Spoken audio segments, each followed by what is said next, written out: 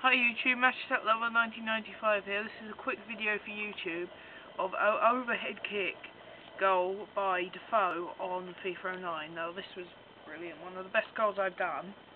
I've done goals from outside the box before, but nothing like an overhead kick like this, so just play it for you.